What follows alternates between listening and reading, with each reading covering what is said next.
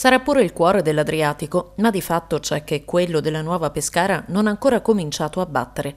Troppi ritardi sulla sua nascita, troppi rinvii sulla fusione dei tre comuni di Pescara, Montesilvano e Spoltore, che dovrebbero dar vita a una realtà territoriale di livello europeo, al centro della tavola rotonda che si è svolta nella sala consiliare del comune di Pescara, per volere delle associazioni ex consiglieri comunali e Nuova Pescara, come spiega Marco Camplone, presidente dell'associazione Nuova Pescara. La Nuova Pescara non piace a una parte della politica. Ci sono degli assessori, dei consiglieri, ma anche a livello regionale che temono una cosa, l'avvento della nuova Pescara li può mettere ai margini. Non vale assolutamente il pensiero che vincerà comunque un candidato di Pescara perché Pescara è la città più grande. La fusione valorizzerà tutti e tre i territori, innanzitutto dando delle specificità e non mettendoli in concorrenza l'uno con l'altro. Noi riteniamo, come Associazione Nuova Pescara, che il commissario ad acta sia assolutamente indispensabile, perché dal referendum alla legge regionale adesso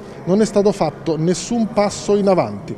Sono state sì nominate le commissioni, ma le commissioni non vengono messe in condizione di lavorare perché c'è il giochetto di far mancare il numero legale. Noi ci meravigliamo di una cosa, che in tutto questo tempo il presidente della giunta regionale Marco Marsilio non sia mai sceso in campo. Attenzione, la nuova Pescara è un fatto politico, la legge regionale e il governatore in sede di campagna elettorale ha detto che era favorevole e che in caso di vittoria si sarebbe adoperato per eh, arrivare alla fusione. Noi finora non abbiamo visto nulla.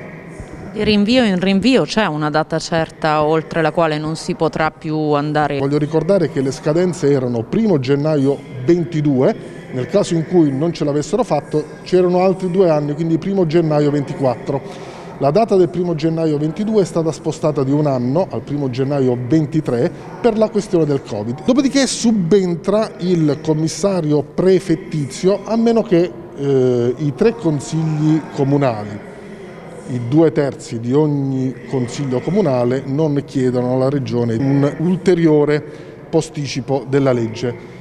Ma se l'obiettivo è quello dall'inizio non va bene. È il momento di nominare un commissario ad acta che proceda anche perché la perdita di tempo equivale a una perdita di risorse per il territorio, non c'è più tempo da perdere. Abbiamo visto anche sparire i primi 300 mila euro che la Regione ha destinato a Nuova Pescara, perché Nuova Pescara non è una fusione tra le tante, è la maggiore fusione, è una realtà di livello europeo.